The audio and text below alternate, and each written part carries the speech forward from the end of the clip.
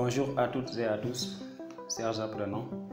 Au sommaire de cette vidéo, nous allons corriger avec vous euh, les extraits du BFM 2005 et du BFM 2010 portant sur euh, les calculs algébriques.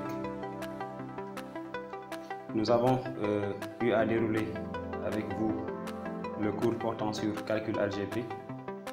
On a traité avec vous les égalités remarquables en donnant pour chaque égalité remarquable euh, comment on l'utilise pour développer, mais aussi comment on l'utilise pour factoriser.